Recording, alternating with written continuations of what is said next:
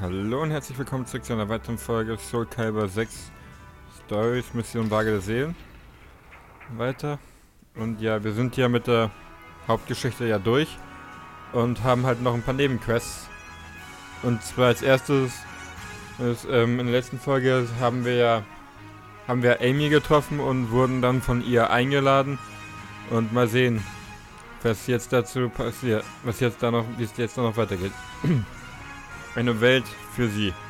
Suchen nach Antworten. Äh, ich denke, ich nehme den wieder erstmal, oder? Ah. Hm, nee, ich denke, ich gehe doch mit dem. Mit dem Katzberger. Auch weil Amy's Dienstmittel mit solcher Leidenschaft gesprungen hatte, machte ich mich auf den Weg zum Anwesen der jungen Dame, das etwas abseits der üblichen Wege lag. Bei meiner Ankunft begrüßte mich der Herr des Hauses. Mal sehen, was das jetzt wird. Als ich in, in dem Haus ankam, wurde ich in den Salon geführt. Willkommen in mein Haus. Ich bin Raphael, der Erbe des Vermögens von Lord Dumas. Ich habe gehört, dass du Amy zu Hilfe gekommen bist. Ich danke dir aufrichtig. Als Zeichen meiner Dankbarkeit möchte ich dich heute Abend zum Essen einladen. Das ist das Mindeste, was ich tun kann. Während des Abendessen prahlte Raphael mit seiner Bibliothek. Nachdem wir unsere Mahlzeit beendet hatten, gingen wir durch den Garten zum Anbau, um sie uns anzusehen. Amy meinte, dass du gut im Kämpfen bist. Wie wär's mit einem kleinen Duell? Du brauchst dich auch nicht zurückhalten. Ich habe Amy alles beigebracht, was sie kann. mhm. Raphael ist auch so ein Charakter, der, eigen, der einem eigentlich leid tut. Also mir tut er zumindest äh, leid. Er hat echt ziemlich viel Scheiße durchgemacht. Und wo. und, halt, und halt auch immer mehr oder weniger ein Spielball, der hat zwei Schwerter. Okay, aber nicht gut.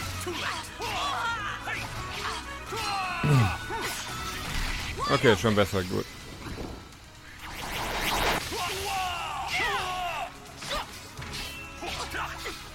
Nicht gut. Ey, fuck. Aber. Schon besser? Aber trotzdem, so optimal ist das bisher noch nicht hier gerade.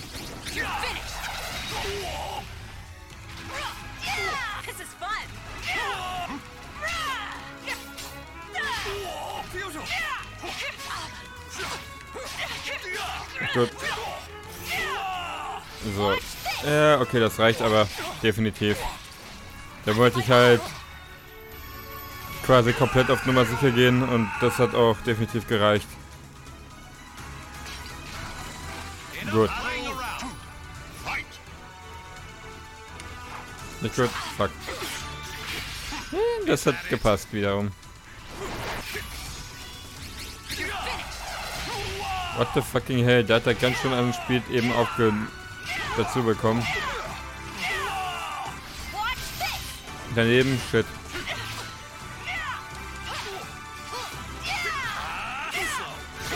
Ja. Aber es sieht für mich gerade eigentlich ganz gut aus. Damit... Fuck. Oh, okay, doch, hat doch noch getroffen. Auch wenn ich nicht weiß... Also reichen wird es wahrscheinlich noch nicht für den Kill, aber... Aber... Nicht gut. Okay, das reicht jetzt zum Finishen.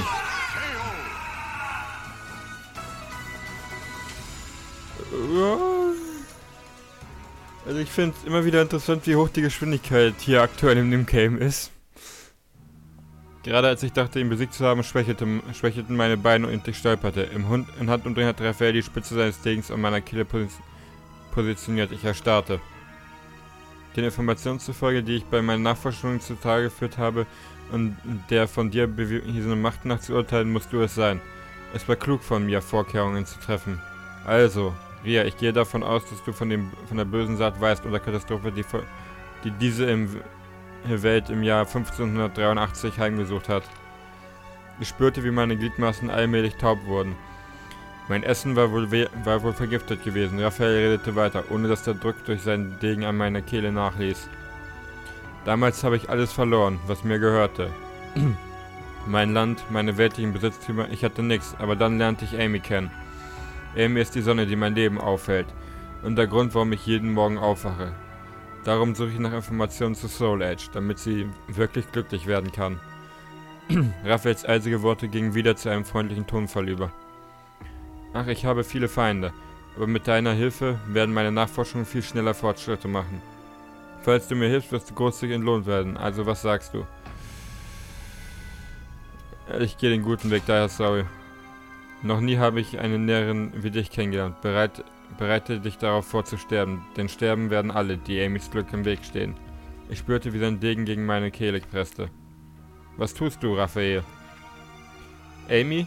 Ach, wir haben ja bloß ein Spiel, ein bisschen Spaß. Hast du es nicht sogar selbst gesagt, dass unser Gast hier ziemlich talentiert ist? Aber wie du sehen kannst, habe ich, hab ich letztendlich gesiegt. Raphael steckte den Degen weg, bevor er zu Amy hinüberging. Wenn du, wenn du deine Meinung änderst, statte ich mir einen Besuch ab. Lass uns wieder reingehen, ja, Amy? Ich sah zu, wie die beiden ins Haus gingen. Raphael hatte gesagt, dass er Amy glücklich machen wollte, aber wie passte das verfluchte Schwert in seine Pläne? Ich dachte über die Frage nach, während ich aufbrach, um meine Reise fortzusetzen. Ja. Dies ist echt ein...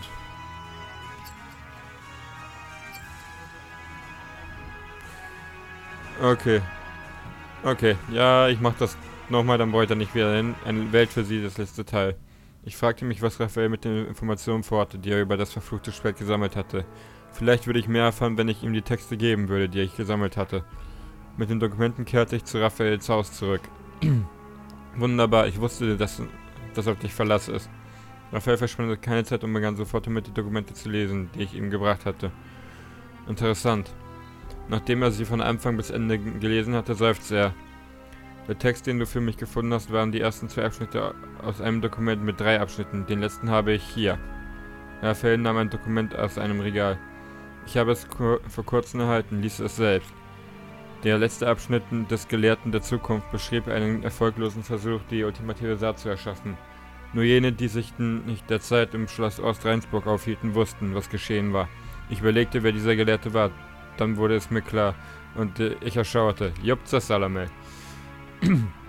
Laut des Verfassers dieses Dokuments gab es zu diesem Geisterschwert keine Nachweise oder historischen Erwähnungen, noch Gerüchte oder Legenden. Ich kann nicht sagen, ob es, da, ob es dazu da war, die Macht des verfluchten Schwertes zu erhöhen oder einfach erfunden wurde.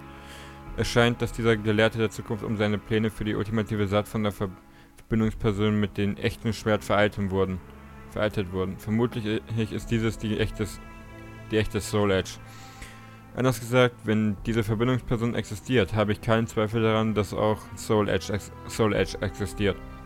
Nachdem du diese Informationen jetzt selbst gelesen hast, gehe ich davon aus, dass du das ähnlich siehst. Raphael sah mich an mit einem Blick, der so scharf und bedrohlich war wie sein Degen. Aber feiern wir erstmal, denn damit habe, bin ich meinem Plan für meine geliebte Amy die perfekte Welt zu schaffen einen Schritt näher gekommen.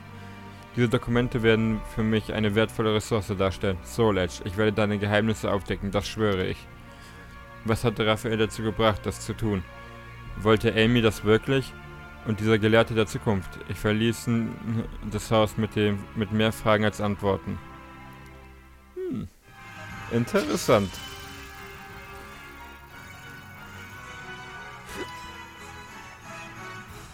Gut, dann Erkundung beenden. Das ist zweifelhafte Macht. Okay. Zweifelhafte Macht ist aber nicht das, was ich jetzt machen möchte. Aus Rheinsburg nicht. Ich habe ja... Oh, inter interessant. Umgebung erkunden, was ist da? Ach du Scheiße, Stufe 90? Interessant.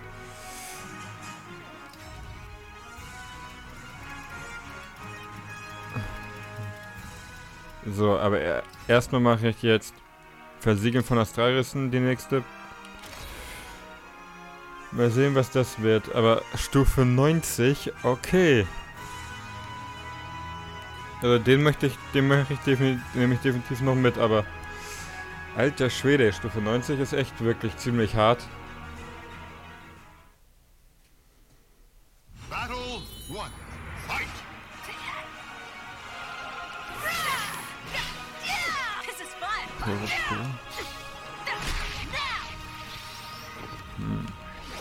Also irgendwie kommt mir dieser Charakter gerade vom Design her bekannt vor. Könnte der aus... Ach so, ich glaube, der ist aus One Punch Man. Einer der... Fuck, nicht gut. Einer der äh, S-Klasse-Helden ist das, glaube ich. Wenn ich mich gerade nicht irre. Kann auch, sein, dass, kann auch sein, dass ich die mit einem anderen gerade verwechsel. Auf jeden Fall sieht der ziemlich ähnlich. Fuck, nicht gut.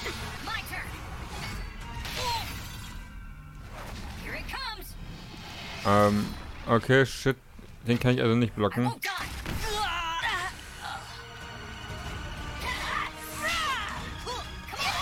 Ja, aber...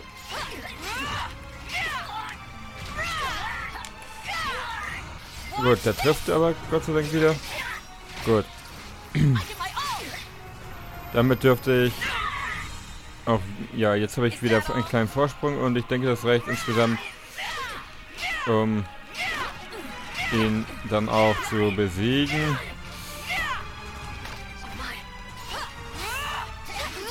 Aber Okay. Nicht. Okay, das war fies.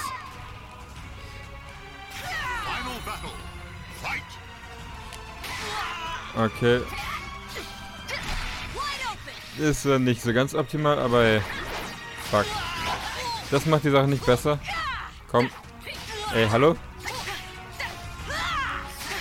Äh, das ist irgendwie ziemlich Okay, ich habe irgendwie gerade das Gefühl, dass ich verliere. Außer ich schaffe es eventuell jetzt nochmal komplett ihn zu seine Lebensweise durchzu.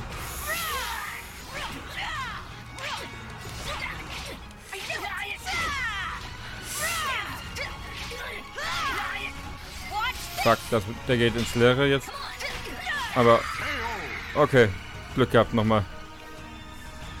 Also, die kritische Klinge lief zwar ins Leere, aber ich habe ich es trotzdem noch geschafft, ihn zu besiegen. Als ich meine Hand dem... Ach so, ja. Und das mal wieder, nach dem blauen Schwert.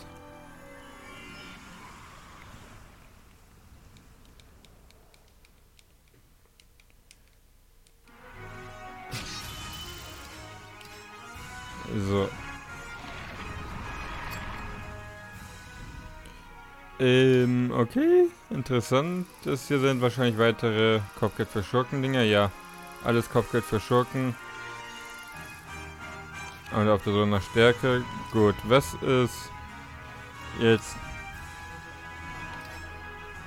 Äh, komm, den mache ich noch. Und dann gehe ich eventuell mal rüber zu Talem. Denke ich mal.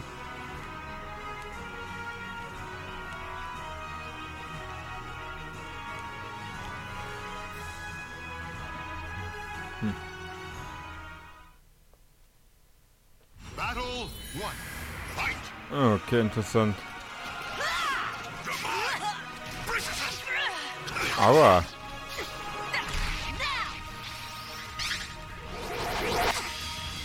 Das war schon eine gute Menge an Schaden, die er mir gedrückt hat, aber... Fuck, nicht gut. Okay, der war ganz gut. Der trifft.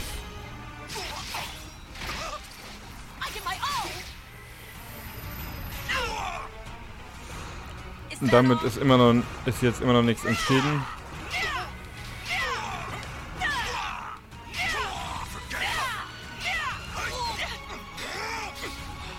Okay.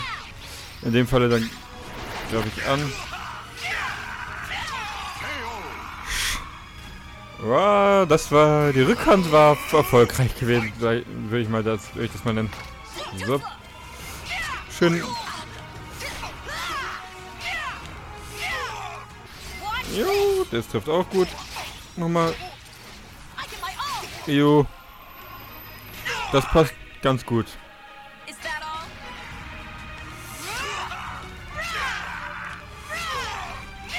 Du brauchst nicht aufstehen, du kannst auch liegen bleiben. Dann mache ich dich auch halt auf dem Boden fertig. Gut. Und das, war, das war's. Also ich bin mir ziemlich sicher, dass das ausreicht, um den zu killen. Ah, doch nicht. Okay. Dann... Halt so. das ist auch eine lustige Aktion.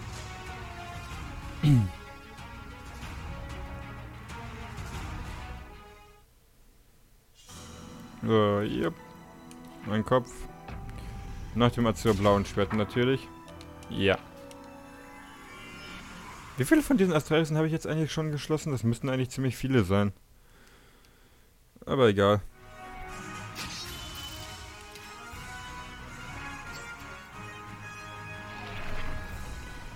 Gut. Weiter. Und dann schauen wir mal nach Talem. Ich hoffe, dass das, dass ich das... Wow. Okay, das Ziel des... Ah, interessant. Das Ziel des Wandervogels. Ich sah mich ich einen Auftragsmörder äh, der Assassin-Gilde gegenüber, die man einen Wandervogel nannte. Ich fragte mich, wer voll ihn wohl beauftragt hatte. Okay, interessant. Damit habe ich nicht gerechnet, dass sowas da kommt.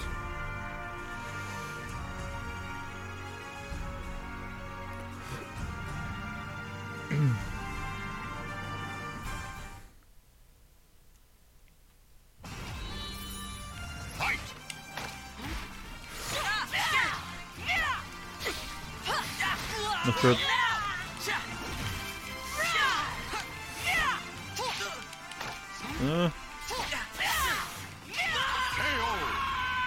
Das hat doch zumindest schon mal ganz gut funktioniert. Ich hätte es war besser gefunden, hätte ich Winden, hätte ich noch weniger Schaden bekommen, aber es war zumindest erstmal ein ganz guter Anfang. Nicht gut.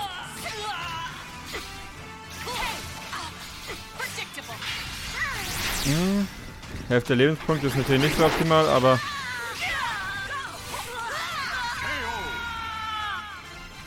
damit habe ich wenigstens den schon mal besiegt. Und es fehlt nur noch einer. Der dürfte hoffentlich auch.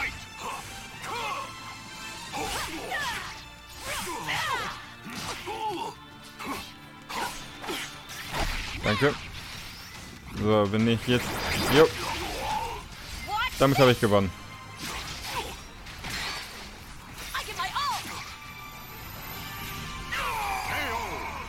Äh, das war's. Plong.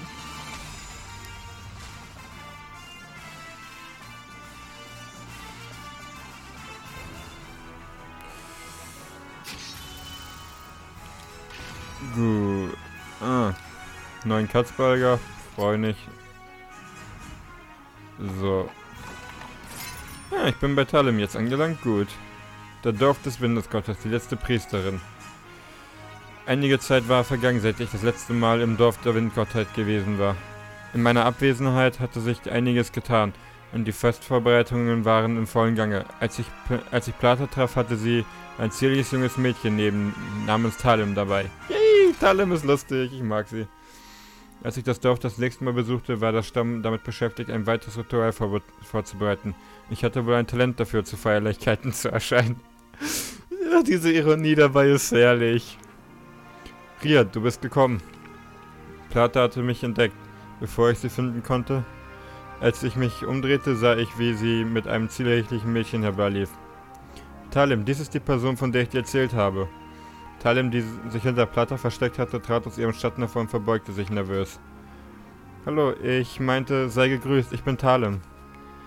Talem hat die Voraussetzung, eine außerordentliche Priesterin der Winde zu werden. Die Ältesten sagen, dass sie mit ihrer Macht die Reinkarnation des uralten, der uralten Priesterinnen ist. Ach, ich weiß nicht. Sei nicht so bescheiden, Talem. Sie, sie, ist nicht besonders selbstbewusst, was ihren Schwerttanz angeht, auch wenn, auch wenn morgen der große Tag ist. Ach, ich weiß, Ria. Gesegnet sei der Wind, der dich hergeschickt hat. Ich weiß schon irgendwie, worauf das hinausläuft. Du hast mir schon mal mit meinem Schwerttanz geholfen. Willst du auch meiner Cousine helfen? Was meinst du, Talem? Das, das, das wäre wunderbar. Ich wüsste es wirklich zu schätzen. Oh, Talem ist irgendwie schon niedlich. Also ich finde sie echt sympathisch.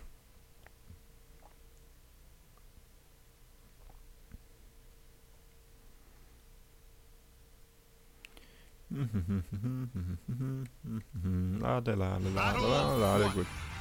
Ach so, wieder mal Rutsche.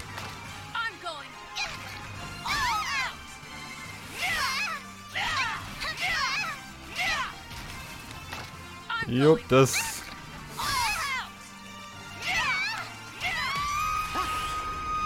Okay, ich glaube, ich habe ein bisschen mit ihr den Boden aufgewischt. Kann man, kann man auch relativ gut so sagen, weil so viel Zeit, wie sie auf dem... What the fuck? Da hat sie mich ganz schön aber rausgeschleudert. Und wieder auf dem Boden. Nackenklatscher. Okay, aber nicht gut. Jetzt habe ich ein Problem.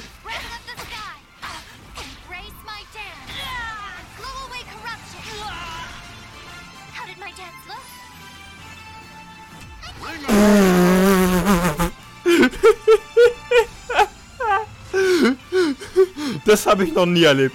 Das habe ich noch nie erlebt. Da hat sich die Kay selbst aus dem Ringcash rausgeworfen.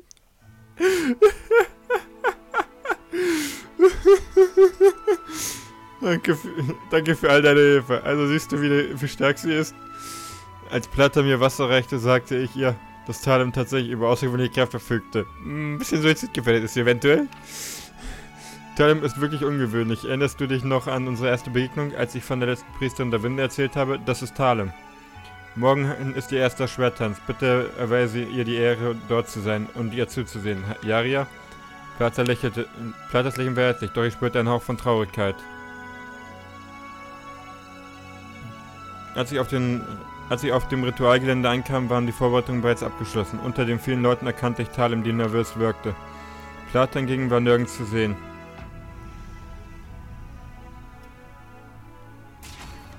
Ja. Talem begann ihre Bewegungen waren leicht und elegant. Anders als Platas das sichere. Mächtige Angriffe durch doch der Wind, der Talem erschuf. Doch der Wind, den Talem erschuf, brauste und wütete. Bis auf die Bäume, bis die Bäume in der Nähe sich zu verbogen, dass sie fast umstürzten. Dies war also die Macht des letzten Priesterin der Winde. Als der Tanz sich dem Ende näherte, wandte sich Talem mir zu, genau wie Platas getan hatte, heftiger Windstoß blies mir entgegen. Im Gegensatz zu Platas leichten Windhauch traf mich dieser Wind mit solcher Kraft, dass ich bewusstlos zu Boden fiel. Toll. Sie hat mich ausgenockt. Danke sehr, Mädel. Als ich meine Augen öffnete, starrte ein jugendliches Gesicht besorgt zu mir hinab. Du bist wach, dem Winde sein Dank. Um ehrlich zu sein, ich bin wirklich schlecht im Schwerttanz. Ich habe Probleme damit, die zerstörerische und gefährliche Seite des Windes zu, auszudrücken. Aber trotzdem, als der auszudrücken oder unterdrücken, keine Ahnung. Als der Tanz so vorbei war, fühlte ich mich bereit, eine Priesterin der Winde zu werden, zu sein. Das habe ich dir zu dir und Plata zu verdanken.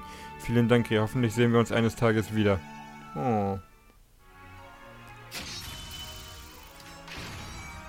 Monarchie der Windgottheit. Mhm.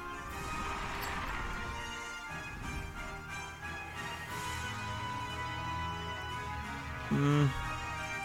Erkundung beenden, ja. Was ist... Was ist hier wahrscheinlich... Okay, Überfall im Nebel. Interessant. Gut, aber ich denke... Ja, ich versuche noch... äh, Ich mache nochmal dieses Versehen von Astralis und danach beende ich die Folge.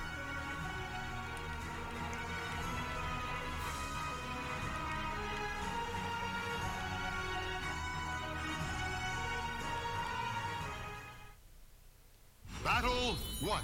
Fight.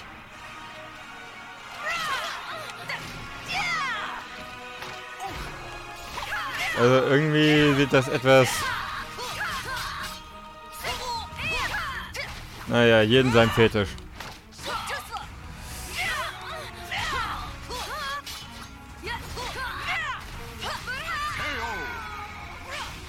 Also ich finde irgendwie die Proportionen wirken etwas komisch.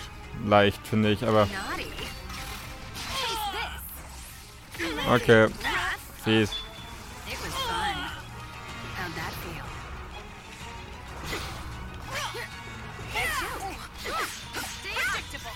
Danke dafür, den habe ich da wieder... Ja, der geht auch noch durch.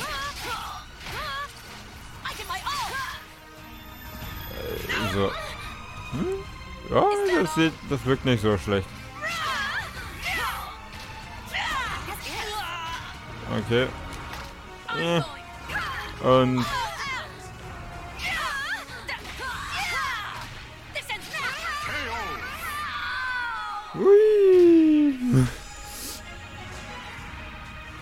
Ich wollte noch ein paar akrobatische Leistungen äh, am Ende der Folge zeigen.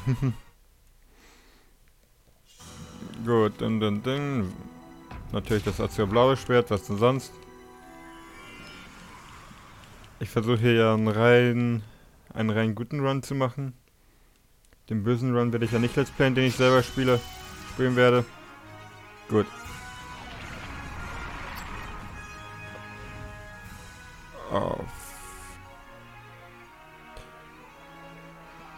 Das Ding ist weg. Och shit, ey, ich habe echt immer so Pech. Das war nicht das, was ich machen wollte. Das ist... Die Dinger sind noch alle da. Aha, aber... Wieso ist das jetzt weg, das 90er Ding? Ja, ich möchte den aktuellen Modus verlassen. Fuck, ich...